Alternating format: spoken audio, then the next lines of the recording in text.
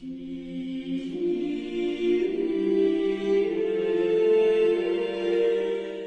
el nombre del Padre y del Hijo y del Espíritu Santo. Amén. Dios te salve María, llena eres de gracia, el Señor es contigo, bendita tú eres entre todas las mujeres y bendito es el fruto de tu vientre Jesús.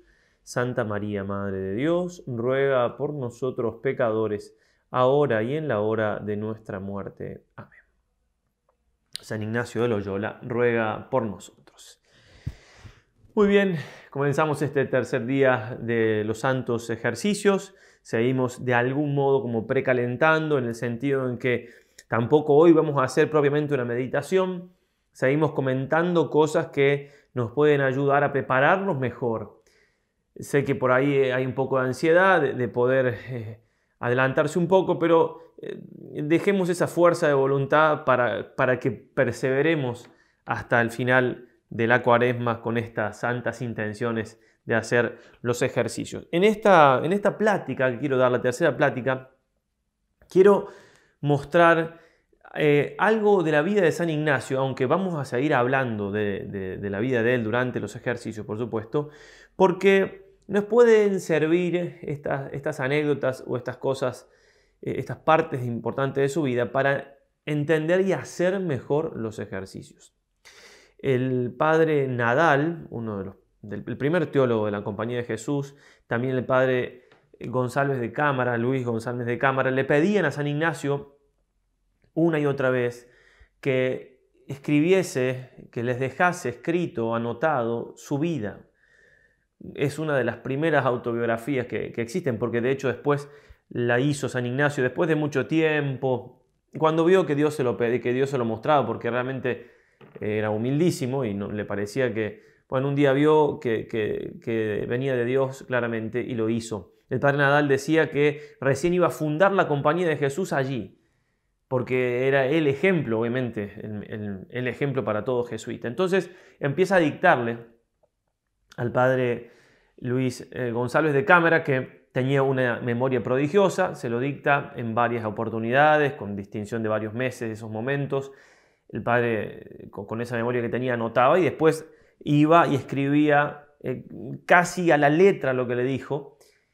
Y al terminar de, escribir, le preguntó sobre los ejercicios, porque San Ignacio no había comentado al respecto. Y responde el padre, él me dijo, San Ignacio, que los ejercicios no los había hecho todos de una sola vez, sino que algunas cosas que observaba en su alma y las encontraba útiles, le parecía que podrían ser útiles también a otros y así las ponía por escrito. Bien, entonces, muy claro está que los ejercicios primero fueron vividos por San Ignacio, primero pasaron por su alma y después entonces, para utilidad del prójimo, los puso por escrito y los empezó a dar, a enseñar, a explicar. Uno puede decir cómo entonces la experiencia de de una persona, su experiencia de conversión va a servirnos a todos, porque, bueno, se convierte a alguien, yo puedo leer una vida de un santo, de otro me puede servir más a mí, a ustedes quizás otra, de acuerdo a la edad, al temperamento. Ahora, esto es una cosa muy particular, los ejercicios, porque nos sirven a todos, en todos los tiempos, eh, varones, mujeres, consagrados, no consagrados, pequeños, bueno, con cierta edad, por supuesto, mayores. Voy a leer ahora un, párrafo eh, un poquito extenso, pero muy interesante, hablando de esto, del padre Castellani. El padre Castellani fue un, gran sacerdote argentino, comenzó siendo jesuita, después terminó en el clero diocesano, eh, muy perseguido en su vida, eh, justamente por ser un hombre de Dios y, un, un hombre de una inteligencia extraordinaria. Eh, aquí en España lo, ha traído, lo ha hecho conocer hace unos años ya el periodista Juan Manuel de Prada. Bien, él en su tesis eh, doctoral en la Sorbona, eh, la titula la tesis La catarsis católica en los ejercicios espirituales, dice lo siguiente, este cuaderno contiene las experiencias ascéticas de un soldado del Renacimiento y su elaboración por él mismo de un método y un training, un entrenamiento, aplicable a todos. ¿Se ha reflexionado suficiente sobre la enorme paradoja que tal hecho involucra? El hecho es este, una experiencia religiosa concreta, una conversión, ha sido como desindividualizada y arquetipada, sin convertirse por eso ni en un rígido esqueleto ni en un fantasma abstracto. Pienso que si los ejercicios no existieran, parecerían imposibles. Si antes de San Ignacio hubiéramos presentado el proyecto a los teólogos y a los filósofos, se hubieran reído o tal vez enojado según el humor. Algunos los hubieran declarado imposibles, utópicos, otros los hubieran tenido por heréticos, pelagianos, o se hubieran escandalizado ante la sola idea de una máquina de convertir, tal como lo dijo el hermano Pedroche a la Inquisición de Toledo. Algunos hubieran alegado que la psicología individual es infinitamente variable e inefable. Otros que trata de asunto entre personas libres, entre el alma y Dios, como que no se puede eso expresar de tal manera que le sirva a todos los demás. Otros habían, habrían alegado los textos que ya existían, eh, del Exercitatorium, que probablemente en eso lo, lo conoció. Bueno, textos en ese momento bastante conocidos, pero obviamente eran sistemas de meditaciones que hablaban de las tres etapas, de la purificación, la iluminación, la unión con Dios, pero no, esto es una novedad total. Sigue el padre Castellani no existía y posiblemente no era teóricamente concebible una cosa que fuera algo así como un drama ascético místico, adaptado no a la escena, sino un plan, no para representar, sino para vivirlo. ¿Mm? Un plan para ser vivido y que produce en todos el mismo efecto de santidad y de conversión. Sin género ni antecedentes conocidos, los ejercicios constituyen una profunda experiencia íntima puesta en esquema dinámico con el fin de posibilitar su transfusión y reviviscencia, que cada uno lo pueda vivir de nuevo. Las desconfianzas que provocó desde el principio el insólito librito no eran simples escrúpulos ni chicanas. Considerados en sí mismos y en sus efectos, los ejercicios eran una cosa sorprendentemente nueva, original e imprevisible, como las cosas que la vida hace, como esas que hace, según creyeron su autor y el Papa que los aprobó, la vida con mayúscula.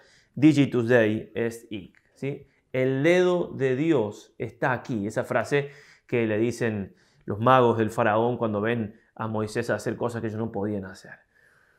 Bueno, texto largo y muy, muy eh, de mucha ciencia, pero que, que nos ayuda a entender realmente algo que nos tiene que, llamar la atención para bien, para entusiasmarnos más con los ejercicios, que realmente son algo totalmente novedoso en su tiempo y totalmente único en toda la historia. Y vamos a ver cómo, como acabamos de decir, no pueden concebirse sin un auxilio particularísimo de Dios y también, como veremos, de la Santísima Virgen María. Vamos entonces a algunas pinceladas de, la vida de San Ignacio que nos ayuden a entender un poco esto que venimos diciendo. Después, a lo largo de los ejercicios, citaremos otras partes de su vida para mayor provecho. En primer lugar, digamos, algo de San Ignacio antes de su conversión. Nació en el año 1591 en una provincia de España, de los Países Vascos, en Yupúzcoa, en justamente Loyola. Su casa como pueden ver, era mitad como una fortaleza y mitad con ladrillos comunes. Bueno, es larga la historia, pero fue destruida, fue construida así, no, no le permitieron a su familia, a sus antecesores, a sus antepasados construirla como un castillo fortificado. Bien, viene de una familia mm, de caballeros, una familia noble, no, de muchísimo dinero, pero sí que conocida y, con, con su autoridad en toda la zona y también con los reyes de entonces, en la época de San Ignacio, cuando nació con los reyes de Castilla, Isabel y Fernando. Bien, San Ignacio entonces eh, lleva una vida, aunque tiene una, educación muy buena y muy pulida, eh, lleva una vida bastante mundana. Nadal, a quien ya hicimos referencia, nos va a decir, pues habiendo sido educado en el hogar con singular distinción, no se aplicó a los estudios, sino que, incitado por su ánimo generoso, se entregó totalmente, conforme a las tradiciones de la nobleza española, a granjearse el favor del rey y de los magnates y luego conquistar la gloria militar. San Ignacio era el décimo tercer hijo de don Beltrán y de doña Marina, realmente un, matrimonio muy generoso y, si no lo hubieran sido no hubiéramos tenido un San Ignacio ni los ejercicios. Y cuando él tenía unos 14, 15 años, fallece su mamá y su padre entonces manda al Benjamín, el más pequeño, a Arevalo, al corazón de Castilla. Se decía en ese tiempo, la mejor villa que encierra el condado de Castilla es Arevalo y su tierra. Era una tierra, un lugar de, mucha vida cortesana, económicamente también se encontraba muy bien. Y lo manda a, la casa del contador mayor, tenía ciertos parentesco y amistad, don Juan Velázquez de Cuellar, eh, que era como el ministro de Hacienda de, los reyes de Castilla, de Isabel y Fernando. Bueno, ahí San Ignacio eh, realmente recibe también una muy buena formación católica y cultural, no la aprovecha demasiado, se sigue dedicando un poco a las cosas del mundo. Eh, bien, algunos, algunas anécdotas que se cuentan en ese tiempo de la fama que tenía, no, no, no, no puedo ahora traerlas a colación por cuestiones de tiempo, pero eh, es hasta los 26 años entonces él vive la parte de su vida más disoluta. Eh, él termina convirtiéndose a los 30, 31 años, no sabemos exactamente la fecha de nacimiento, por eso no se sabe si tenía 30 o 31, pero cuando él relata su biografía, dice hasta los 26 años era dado a, a la gloria del mundo, ya lo vamos a leer. Algunos dicen que se equivocó cuando dijo la edad, otros dicen que está hablando de este tiempo, porque a los 26 años él tiene como una primera conversión dentro de lo humano, si se quiere. No, no una conversión total a Dios, pero sí como que deja esa vida cortesana y más licenciosa, ya que a la muerte de don Juan, una, muerte después de haber perdido sus bienes, una situación difícil, un santo varón, eh, San Ignacio tiene que partir y se va entonces a lo de Antonio Marrique de Lara, virrey de Navarra. Y allí es el gentil hombre, se le llama. Es alguien que acompañaba o al rey o al príncipe o a un magnate en su palacio, en sus viajes. Y ahí empieza entonces a dedicarse más a, las guerras, más a ser caballero, una vida un poco más austera. Por eso podemos decir que quizás él habla de esa primera conversión cuando dice que hasta los 26 años tenía eh, estaba muy dado a la gloria del mundo y, a otras cosas. La va a escribir, que fue su sucesor en la compañía de Jesús, el primer prepósito general después de San Ignacio, cuanto a la natura, a la naturaleza de él, era aún en el mundo ingenioso y prudente, y animoso y ardiente, e inclinado a armas y a otras travesuras, con haber sido hasta allí, cuando hizo voto de castidad, hablando de esta parte de su vida, combatido y vencido del vicio de la carne, desde entonces acá, para este tiempo, va a decir, nuestro Señor le ha dado el don de la castidad y a lo que creo de muchas, muchos quilates. ¿no? También ahí nos refiere entonces las debilidades de San Ignacio. Alfonso de Polanco, también su secretario, va a decir, hasta ese tiempo, hasta los 26 años, aunque era aficionado a la fe, no vivió nada conforme a ella, ni se guardaba de pecados, antes era especialmente travieso en juegos y en cosas de mujeres, y en revueltas y cosas de armas. Pero sigue diciendo Villoslada, temiendo que el retrato por demasiado sombrío resultase algo falseado e incompleto, agregó esta acotación.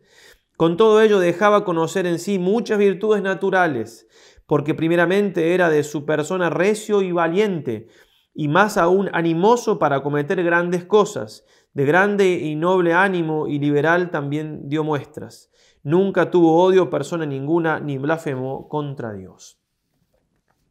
Va a resumir así San Ignacio al menos lo que nos trae eh, el padre que le tomaba la biografía, así su vida pasada. Digo al menos porque puede ser que no haya contado todas las cosas que San Ignacio le dijo, por un respeto, por una reverencia. Obviamente que San Ignacio no contó nada inmoral, eh, en ese sentido se cuidaba muchísimo, el santo era delicadísimo. Eh, dice así entonces, así empieza su autografía y habla siempre en tercera persona, así la relata. Hasta los 26 años de su edad fue hombre dado a las vanidades del mundo y principalmente se deleitaba en ejercicio de armas con un grande y vano deseo de ganar honra. Todo lo que acabamos de decir hasta ahora nos tiene que ayudar a nosotros a darnos cuenta que San Ignacio, como tantos otros santos, no nació santo. Ningún santo nació santo, pero algunos fueron inmaculados, por decirlo de algún modo, desde muy pequeños. Otros no. Tenemos el caso entonces de San Ignacio que no lo fue. A los 30, 31 años se convierte. Entonces, ¿qué edad tienen cada uno de ustedes? ¿Qué importa? ¿No? Digo, 50, 30, 20, 40, 60, 80, 90. No sé, 15. Bueno, si se quieren convertir, si nos queremos convertir de verdad, tomemos el ejemplo de este santo, que un día en su vida se convirtió, cambió, y es San Ignacio, y le ha dejado la iglesia tanto con estos ejercicios, cuánto querrá dejar eh, nuestro Señor con cada uno de ustedes con la conversión. Por eso, esta parte de su vida nos tiene que ayudar, y ahora lo que vamos a ver también, a tomar ejemplos de él para mejor hacer estos santos ejercicios. Cuando él tenía entonces 30-31 años, en Pamplona, en una batalla contra los franceses, él cae herido de bala. Quiero leer lo que él mismo dice, porque justamente qué mejor que leerlo de él, aunque sea un poquito largo, pero las palabras más exactas no las puedo decir, por supuesto. Dice así, y así estando en una fortaleza que los franceses combatían, y siendo todos de parecer que se, se diesen, o sea, se rindiesen, para salvar sus vidas, por ver claramente que no se podían defender, él dio tantas razones al alcalde que todavía lo persuadió a defenderse, aunque contra el parecer de todos los caballeros, los cuales se coartaban con su ánimo y esfuerzo. O sea, habían decidido rendirse y él fue y fue tan vehemente y dio tantos motivos para no hacerlo, ¿no? Recordamos, los caballeros tenían eh, muchos principios muy nobles para no rendirse en las batallas y demás, entonces él, por él, por sus palabras y por su valentía, se defendieron hasta que pudieron.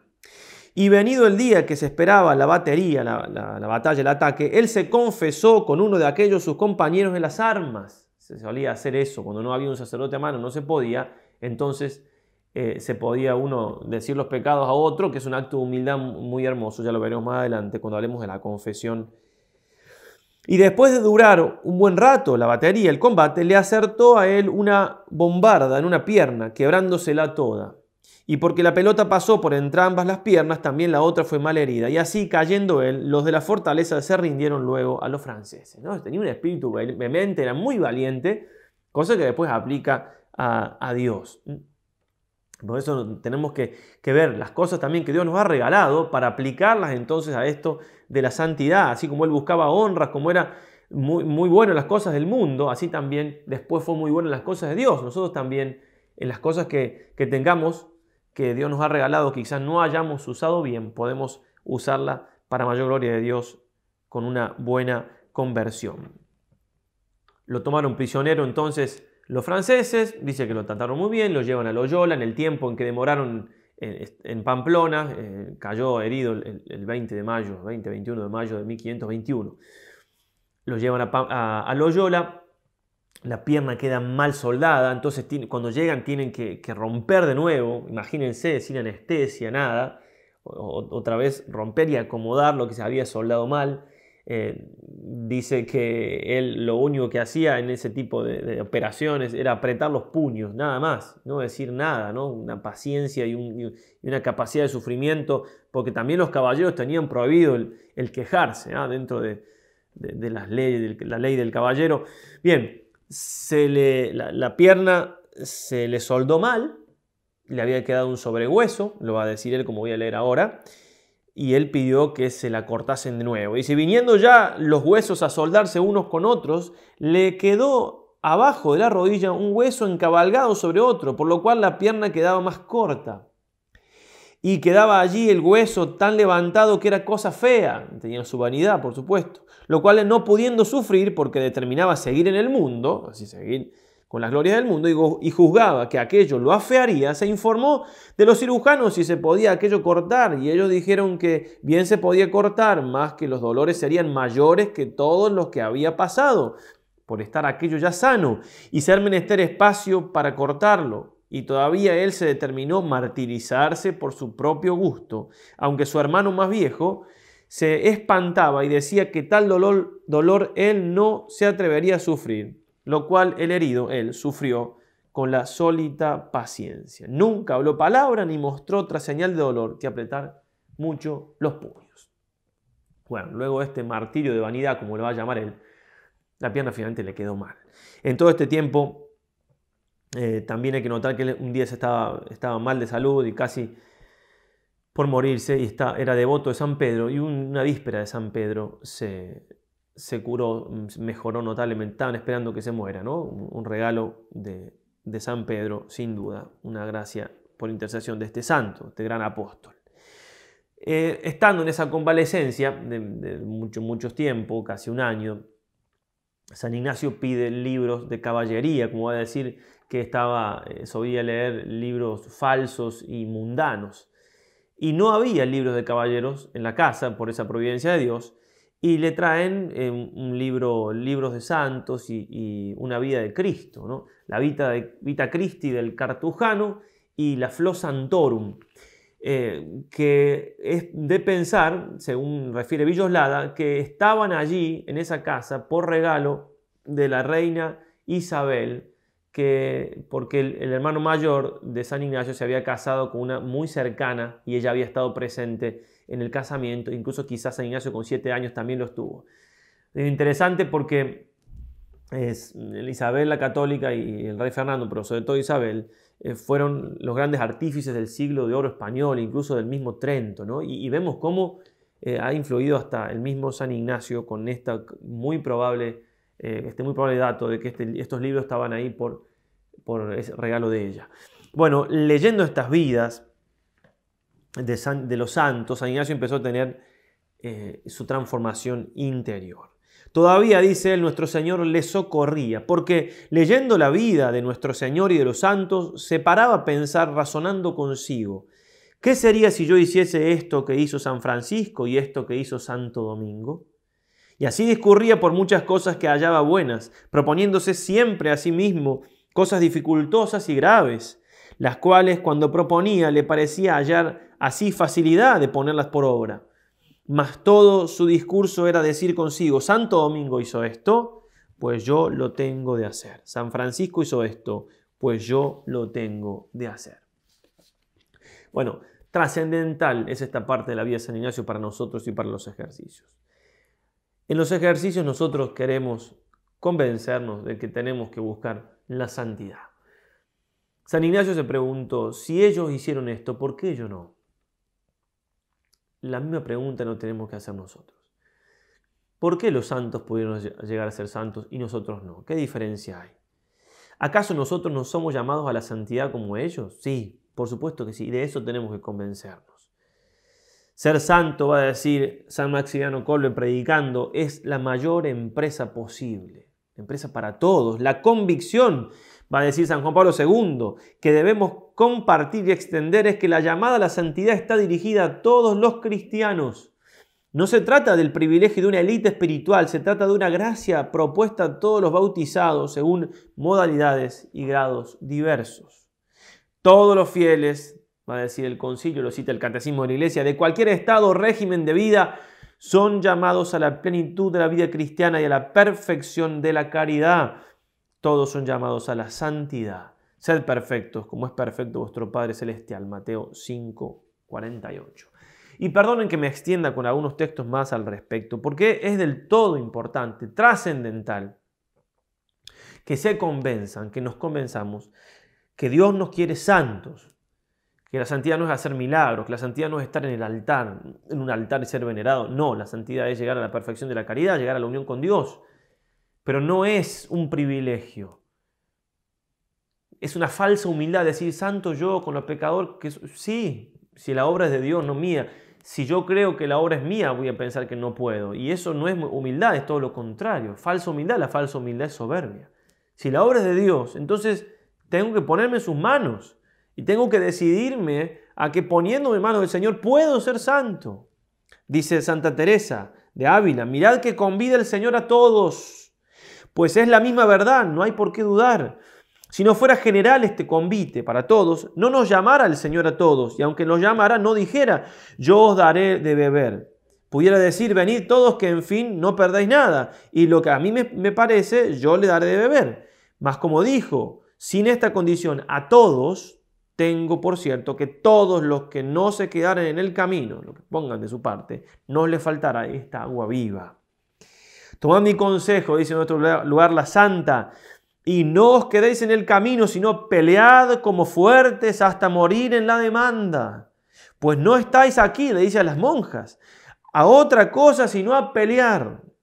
Y con ir siempre con esta determinación de antes morir que dejar de llegar al fin del camino, a la santidad. Y si os llevar el Señor con alguna sed en esta vida, en la que es para siempre, os dará con toda abundancia de beber y sin temor que os ha de faltar. Nos lleva con esa sed, sed de Dios, sed de llegar a Él. Bueno, buenísimo, porque nos va a colmar esa sed totalmente en la eternidad. En otro lugar dice la misma santa, ahora tornando a los que quieren ir por Él y no parar hasta el fin, el camino de santidad, digo que importa mucho y el todo, una grande y muy determinada determinación de no parar hasta llegar a ella, la santidad. Venga lo que viniere, Suceda lo que sucediere, trabájese lo que se trabajare, murmure quien murmurare, siquiera llegue allá, siquiera se muera en el camino, no tenga corazón para los trabajos que hay en él, siquiera se hunda el mundo. sí que tenía convicción la santa de llegar a, hacerlo. ¿ah? Y eso es lo que nosotros tenemos que lograr en estos santos ejercicios. En otro lugar, la misma santa Dice, quiere su majestad y es amigo de ánimas animosas. Tiene mucho ánimo, ¿no? Como vayan con humildad y ninguna confianza en sí. Y no he visto a ninguna de estas que quede baja en este camino, las que tienen mucho ánimo, ni ninguna alma cobarde con amparo de humildad, que en muchos años ande lo que estos otros en muy pocos. tener mucho ánimo hace que uno camine rápido. Espántame, dice la santa, lo mucho que hace en este camino animarse a cosas grandes, aunque luego no tenga fuerzas del alma, da un vuelo y llega mucho, aunque como avecita que tiene pelo malo, cansa y queda. Lo que hace entonces tener mucho ánimo. Aunque, aunque emprendamos cosas que después por ahí tengamos que corregir el camino porque era un poco mucho, el discernimiento nos va a ir ayudando, pero lo importante es tener grandes deseos grandes deseos. Dice San Juan de la Cruz, nos conviene notar la causa por lo que hay tan pocos que lleguen al tan alto grado de santidad y de perfección, en lo cual es a saber que no es porque Dios quiere que haya pocos de estos espíritus levantados, que antes querría que todos fuesen perfectos, sino que haya pocos vasos que sufran tan alta y subida obra. Entonces va a decir el santo que Dios nos prueba en cosas que a veces no son tan difíciles y nos haya flacos, nos haya débiles, entonces no nos prueba en otras. Pero Dios quiere que seamos santos, ¿sí? Bien, entonces, por lo pronto, por lo pronto, la decisión acá es seguir con los ejercicios. E, e, esa es la cosa grande que tenemos que hacer. Ser generosos, habíamos dicho esta hora que me propuse, esta hora y media, los pequeños propósitos que van teniendo. Eso es ser generosos con el Señor. Las gracias actuales, es decir, las luces que Dios me da para que yo me determine a hacer alguna cosa, son como las cuentas de un rosario, suele decirse, que yo tomo una cuenta del rosario y me lo llevo todo. Una gracia trae otra y trae otra y trae otra. Seamos generosos hoy, aquí, ahora. Como me decía un amigo escuchando lo que vimos en el primer día, ¿no? que todos los días piensa, levanta y piensa, e, e, ese es el último día, era el 17, no voy a vivir otro 17 de febrero del año 2021, nunca más me, llamó la atención porque trato a veces, si me sale, de pensar lo mismo. A la mañana, decir, este es el único día, hoy. Hoy entonces, 19 de febrero es el único, 19 de febrero del 2021 que voy a vivir. El único. Tengo que dar todo y dar todo es buscar esa santidad a la cual Dios, el Señor, nos llama.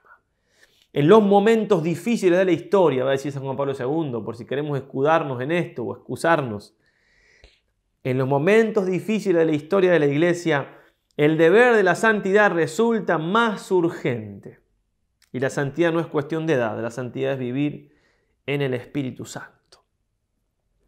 Bien, San Ignacio entonces tiene una mudanza de vida muy grande, hay muchas cosas que vamos a ir contando que sucedieron allí, pero lo importante entonces a lo que vamos es esto, él decide por los libros que estaba leyendo, quiere incluso ir a, conocer el lugar donde vivió nuestro Señor Jesucristo. Ahí, ahí, el mismo lugar donde Jesús estuvo y vivió en Tierra Santa para conocer más la vida del Señor, contemplar más de cerca la vida de Jesús.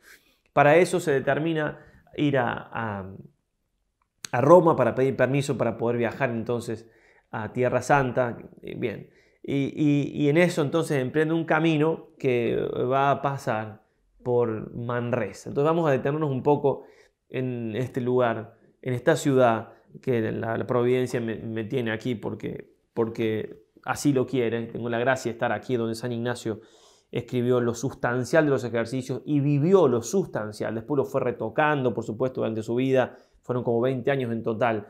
Pero todos los comentadores y grandes estudiosos de los ejercicios son eh, concordes en decir eso, que aquí vivió lo más importante y escribió lo más importante de los santos ejercicios. Va a decir el padre Villoslada, la ciudad de Manresa puede con razón ufanarse de ser la ciudad ignaciana por antonomasia en Manresa la gracia de Dios, colmándolo de dones y carismas, lo hizo santo.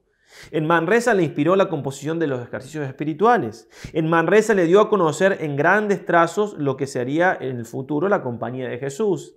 En Manresa lo elevó a las encumbradas alturas de la contemplación mística. San Ignacio fue un místico, un gran místico. En Manresa lo doctrinó el Maestro Divino como a un discípulo. Y Manresa fue su fervoroso noviciado y como el vestíbulo de toda su posterior vida espiritual. No sé si tal vez sería manresano un anónimo que en 1891 escribió, Manresa es para Ignacio lo que el monte Sinaí para Moisés, lo que el monte Alberino para San Francisco de Asís. En esta hipérbole encierra un sustrato de verdad, dice el padre Villoslada, muy crítico en todas sus, sus notas, un historiador de pura cepa. Aquí en Manresa, San Ignacio estuvo en varios lugares, pero la mayor parte del tiempo la pasó en esto que vamos a ver ahora, que nos estamos acercando, volando en este dron, a lo que es la, Santa Cueva, ¿no? ahora por supuesto cubierta por un, por un hermoso santuario, la cova, como lo llaman aquí. Vamos entrando entonces por la iglesia, que ahora está siendo refaccionada, así que cuando vengan alguna vez, están invitados, no la van a conocer igual. Nos alentamos entonces al altar, ahí doblamos a la izquierda, luego a la derecha para entrar a la, antesala de la cova y ahora sí estamos entrando a la Santa Cueva, donde San Ignacio pasó tantas horas de oración, ¿no? pasaba en ese tiempo siete horas de oración de rodillas, como ya dijimos, muchos fueron aquí en este lugar retirado, donde el santo escribió los ejercicios espirituales y los hizo. Va a decir el santo de este tiempo de Manresa que le trataba a Dios en este tiempo de la misma manera que trata un maestro de escuela a un niño, enseñándole. Sopesemos las palabras que está diciendo el santo. Y ahora esto fuese por su rudeza y grueso ingenio, o porque no tenía quien le enseñase, o por la firme voluntad que el mismo Dios le había dado para servirle, Claramente él juzgaba y siempre ha juzgado. San Ignacio es muy exacto en sus palabras. Cuando él afirma algo, lo afirma rotundamente. Cuando duda, lo duda. Dice, siempre ha juzgado que Dios le trataba de esta manera. Antes, si dudase de esto, pensaría ofender a su divina majestad. Y algo de esto se puede ver por los cinco puntos siguientes. Entonces pone cinco puntos, yo no lo voy a leer a todos, pero son hermosos, ya los iremos evocando. Uno, por ejemplo, es que tenía un trato con la Santísima Trinidad por separado, es decir, ah, tenía coloquios eh, intimísimos con el Padre, después con el Hijo, después con el Espíritu Santo. Bueno, aquí en Manresa él tuvo un rapto, estuvo ocho días en éxtasis, es decir, que estaba en el suelo como muerto, de hecho casi lo dan por muerto, uno fue y le, tocó el pulso después de varios días y sintió un poquito de pulso, si no pensaban que había muerto. O sea, una unión. Y los raptos, las estas éxtasis se dan por una unión tan íntima, tan intensa del alma con Dios que el cuerpo no resiste. Después esa unión con Dios es más estable y ya los santos en la última etapa de su vida no tienen más éxtasis. ¿Por qué? Porque el éxtasis es eh, como que el cuerpo no está preparado para tanta luz, para tanta vida divina. Y después, de algún modo, se acostumbra, ¿no? El cuerpo, la, la, la afectividad, la psicología en general. Bien, pero de los cinco puntos, esto que cita San Ignacio, yo voy a citar el último, que es eh, la ilustre visión del Cardoner. Una, cosa trascendental, pero por antonomasia en la vida de San Ignacio. Ya lo voy a leer. A orillas del río Cardoner. No se sabe exactamente el lugar, aunque hay un lugar aquí que más o menos lo recuerda. No se sabe si fue ahí, pero sí, entonces ponemos algunas imágenes del, río Cardoner, a donde voy a, sus, a sus riberas, voy a, correr de vez en cuando y, y, le pido al Señor, eh, por intercesión del Santo, que me dé al menos un 2% de lo que voy a leer aquí, yo creo que con eso ya, ya podría darme por satisfecho. Dice así el santo. Una vez iba por su devoción a una iglesia que estaba poco más de una milla de Manresa, que creo que se llama San Pablo, y el camino va junto al río.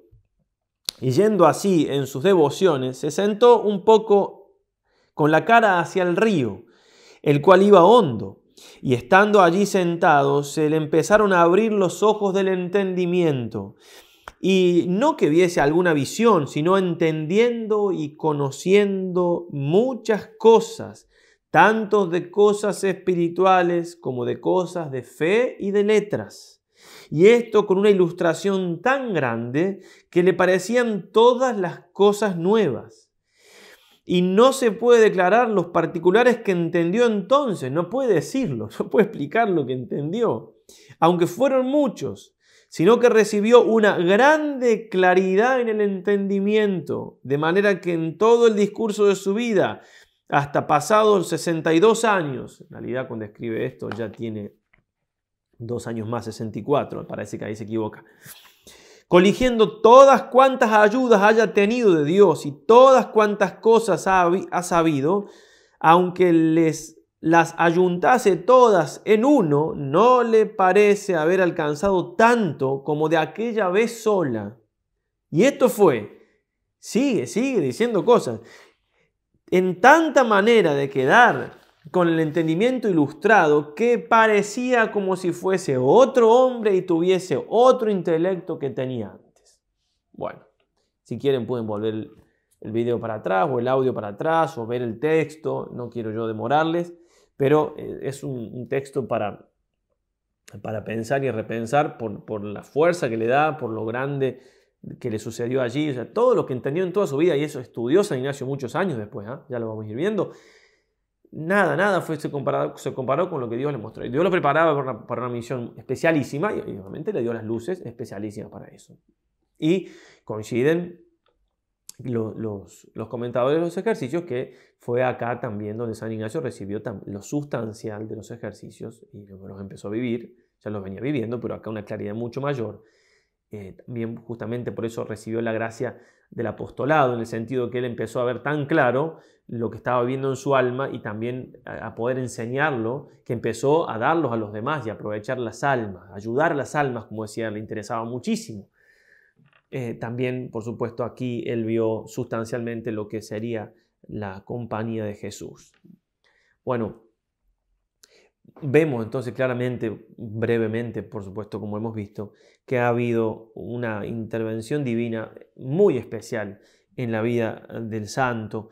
Y, antes de decir la intervención que tuvo María Santísima, que lo quiero dejar para el final, como siempre hacemos, nombrarla a nuestra Madre, eh, como, como, como corona, si quiere, de todo lo que podemos llegar a decir, yo quiero hacer hincapié en la nota 5 que nos trae San Ignacio en el libro de los ejercicios, que son las disposiciones que tenemos que, ir obteniendo en estos días, en estos días de preparación, de algún modo, mañana empezamos ya a meditar, pero empezamos con un tema que, también está dentro de esta preparación, ¿no? y tenemos que lograr esto que dice el santo, que lo tenemos que pedir. Al que recibe los ejercicios, yo tengo que decirle a ustedes, al que los recibe, mucho aprovecha. Entrar en ellos con grande ánimo y liberalidad con su Creador y Señor, ofreciéndole todo su querer y libertad para que su divina majestad, así de su persona como de todo lo que tiene, se sirva conforme a su santísima voluntad. ¿Mm? Es decir, entrar a los ejercicios ofreciéndome, ofreciéndome todo a Dios. Uno puede decir, bueno, pero yo estoy empezando, me falta esa disposición quizás, ojalá que ya la tenga. Si no la tengo, tengo estos días para eso. Por eso estamos meditando estas cosas, estamos viendo el ejemplo de San Ignacio, por eso vamos a empezar a meditar mañana el principio fundamento y empezar a pedir la gracia de tener esa generosidad, esa entrega. Algo que se ve muy claro en la vida de San Ignacio desde que se convirtió fue esos grandes deseos de aprovechar en su vida espiritual. Lo tenía, lo dice él una y otra vez y otra vez en su autobiografía. Tenemos que buscar eso, tenemos que pedirle al Señor ese grande ánimo y liberalidad, es decir, querer, desear entregarme todo al Señor. Y en la nota 16 va a traer algo que si no lo trajese él aquí, no me animaría a decirlo tan al comienzo de los ejercicios. Dice él, para lo cual es a saber, para que el Creador y Señor obre más ciertamente en su criatura, es decir, que el Espíritu Santo trabaje en nosotros.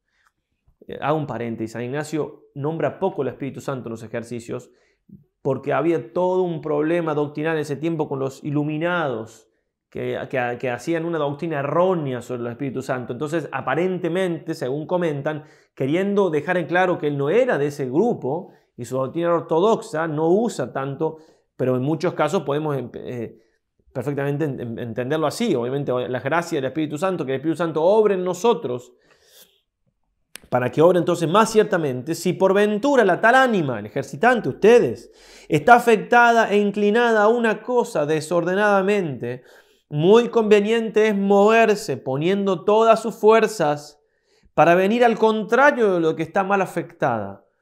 Así como si está afectada para buscar y haber un oficio o beneficio, no por, el honor y gloria de Dios nuestro Señor, ni por la salud espiritual de las almas, mas por sus propios provechos e intereses temporales, debe afectarse, al contrario, instando en oraciones y otros ejercicios espirituales y pidiendo a Dios nuestro Señor el contrario, es a saber, que ni quiere el tal oficio o beneficio, ni otra cosa alguna, si su divina majestad, ordenando sus deseos, no le mudase su afección primera. De manera que la causa de desear o tener una cosa u otra sea solo el servicio, honra y gloria de la su divina majestad. Bien, si no se entiende todo lo que estoy diciendo, no importa. Vamos paso a paso, vamos a seguir hablando. Simplemente se los trato de resumir. A ver, si nosotros vemos que en nuestra vida tenemos un pecado, un vicio o varios vicios que tenemos que, quitar, bueno, obviamente que eso hay que pedirlo y hay que afectarnos, es decir, querer lo contrario de ese vicio y pedir al Señor y ofrecer los sacrificios de la cuaresma y los ejercicios, etc. Ahora, quizás puedo descubrir ya, y si no lo, voy a lo vamos a ir descubriendo, de que hay en, mis cosas, en mi vida cosas que yo quiero, pero que no las quiero por amor a Dios, ni por el bien espiritual mío, ni de las almas, sino que las quiero por amor propio, porque me gustan y punto. Y, y ahí entonces realmente decir, bueno, tengo que entregárselas al Señor, ya de entrada estoy buscando en mi vida algún objetivo y realmente lo que me mueve es, la gloria del mundo, es el aplauso. ¿Será que el Señor quiere que yo lo tenga esto, que lo alcance, que lo quiera? Pues, no sé, para poner ejemplo, de un sentido ustedes pueden bajar muy en particular, a veces no, no soy tan bueno en, bajar a lo concreto. Eh, decir, bueno, a ver, estoy juntando dinero para, comprar nuestro auto, para, o, quiero cambiar de trabajo, o, o algo que, tengo en mi vida em, que he adquirido, eh, estoy como apegado. Nada de eso es pecado. ¿ah? Es bueno, pero Señor, ¿querrá que yo eh, quiera esto así, que yo... Porque a veces las cosas buenas las podemos amar de más o, amar al margen del Señor. Entonces, si encuentro ya al comienzo de los ejercicios algo a lo, cual me parece que puedo estar apegado, eh, por ejemplo, a, los parientes. O sea, a lo mejor Dios me está pidiendo algo, me, puede pedir algo en lo cual yo me tenga que desafectar de mis parientes. No no amarlos más, sino amarlos ordenadamente. Hay veces que Dios pide cosas en las cuales uno tiene que separar de su familia, por ejemplo.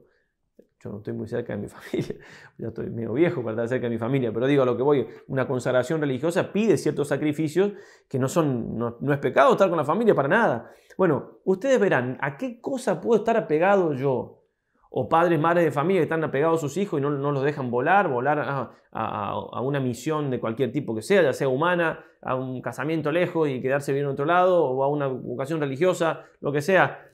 ¿Qué, ¿A qué cosa puedo estar apegado que Dios me puede llegar a pedir y yo no se la quiero dar y, y de suyo no es pecado? Si encuentro alguna cosa de esas, si no la encuentro ya la vamos a encontrar, no sea un problema. se la voy ofreciendo al Señor.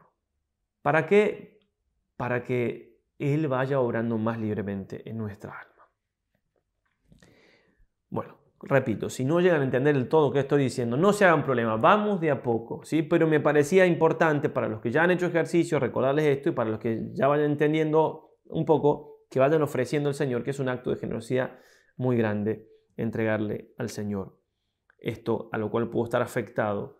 Después a veces uno puede entregarle al Señor y el Señor después me, dice que ordenando los afectos me puedo quedar con esa cosa que le entregué, pero yo en mi corazón se la entregué y eso es de mérito inigualable y, de fruto también grandísimo para los ejercicios. Termino con una referencia a María Santísima, que si bien San Ignacio la ha tenido presente siempre en su vida, de manera inigualable en algunos momentos, bueno, vamos a ir contando al respecto, quería hacer, eh, decir sobre los ejercicios. En esta imagen que están observando, pueden ver que está en el retablo de la Santa Cova, pueden ver cómo San Ignacio está casi como escuchando el dictado de la Virgen para escribir los ejercicios. Y, realmente eh, es así, una ayuda, una intercesión. Este sobre relieve está, eh, se apoya en, una pintura anterior que a su vez se apoya en una tradición. El padre Calveras, en un artículo, el padre Calveras es un gran estudioso de los ejercicios, un artículo que habla de este tema, cita un par de testimonios de la causa de canonización. En uno dice, por ejemplo, es del año 1000 595. San Ignacio dio los ejercicios espirituales a la señora Ángela de Amigant luego, de, luego que se los hubo dictado la Virgen. es que dictar significa que, adoctrinar, o sea, iluminar. Es constante que la Virgen enseñó a San Ignacio los ejercicios espirituales que ahora practica la compañía de Jesús. En otro lugar también en un testimonio 1606, pasando por Manresa, el padre Lorenzo de San Juan, supo del señor Amigán que la Virgen había dictado los ejercicios a nuestro padre Ignacio después de un rapto en la anunciata de su casa, ese rapto que nombrábamos ocho días, como lo tenían notado y sabido por boca del santo cuando estuvo por allí.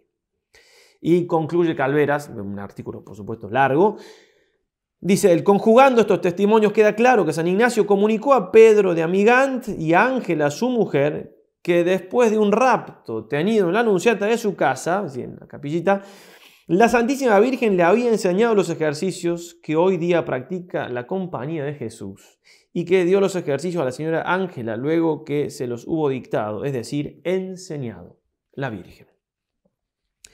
Por eso, Dios lo trataba como un, como un padre a, su hijo, como un maestro a su alumno, eh, pero Dios es, amigo de darnos su gracia por medio de la Santísima Virgen, lo sabemos, no hay gracia que llegue a nosotros sino por María.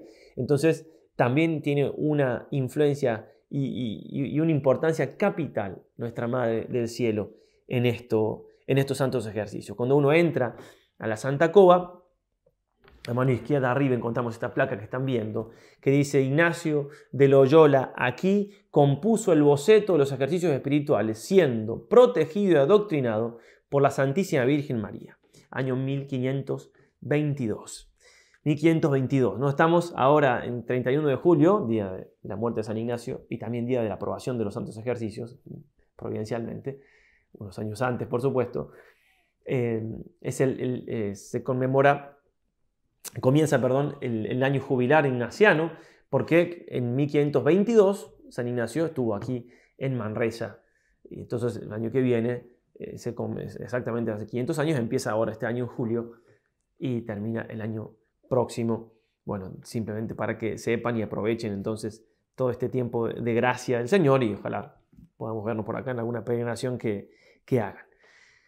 Pedir María Santísima, como va a llamar San Juan Pablo II, ya lo decíamos, maestra sabia de los ejercicios, nos ayude ella, nos tome de su mano, entonces invocarla a ella al principio, al medio y al fin de las meditaciones, los minutos que queden ahora para la hora que les tengo requerida, si es que no se me fue tanto tiempo, lo van a dedicar a que a ver cómo están las disposiciones, a ver hasta qué punto están convencidos que quieren ser santos, como ejemplo San Ignacio, a ver hasta qué punto tienen grande ánimo y liberalidad para entregarse del todo al Señor y a pedirle mucho a Dios que les ayude en esta santa tarea. Que María nos ampare, nos proteja, nos guíe, como lo hizo San Ignacio, y nos conduzca a ese conocimiento y a ese hacer la voluntad del Señor. Ave María Purísima, sin pecado concebida.